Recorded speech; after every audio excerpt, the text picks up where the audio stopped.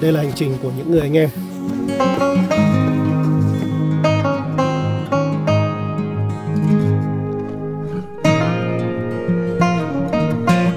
Cuộc hành hương về vùng núi tuyết.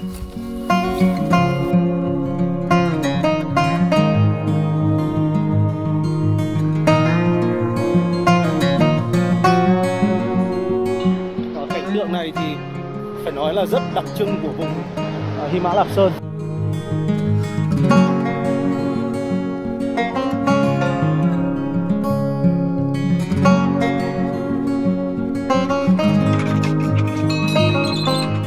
hành trình giúp bạn tìm thấy con đường trở về bên trong.